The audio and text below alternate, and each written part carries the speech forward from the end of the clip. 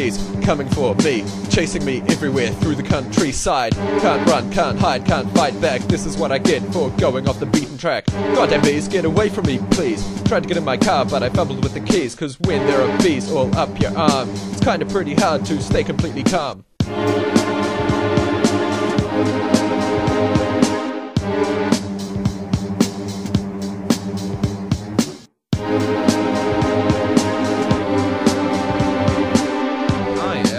Oh, you're done. What a wuss. Let me tell you about my one. I accidentally stepped on a fallen hive. I thought it was dormant, but it was very much alive. Next thing I know, the bees are everywhere. In my clothes, in my mouth, even in my hair. I was running mad like a man on fire. Screaming and kicking looked pretty dire, but as luck would have it, God delivered, and I fell face first into the Avon River.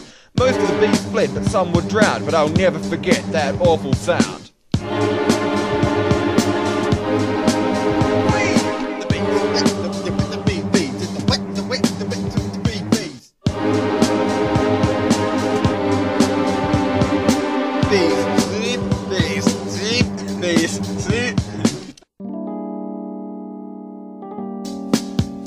Admit that's a pretty good story, but I mean. No buts, you're a big girl's blouse. You deserved it. You destroyed their house. So? That doesn't make the pain any less. You cried like a child. At least I was able to rhyme and keep rhythm while being stung. And what about that? That didn't rhyme. Is that a crime? No, but you're a hypocrite. Bullshit. It's called freestyling. You tits. Freestyling. You already wrote this down. That's not freestyling at all, you clown. You know, man, you're a really big prick. At least I'm not trying to show the size of my. But you were.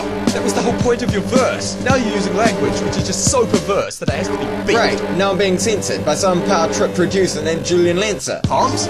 What's it got to do with this? You can't just name drop to take the piss away from you. Look at that, such flagrant profanity. You beeped me, but not yourself, that's just vanity. That's life, pal. It's not fair in the least. Now, can we please go back to the subject of the bees? Nah, screw it. It's not fun anymore. But I've got a big surprise for you in store.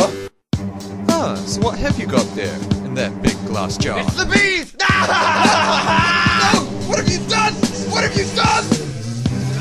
How do you like it? No, no, no, not me! Ow! Ow! Ow! Ow!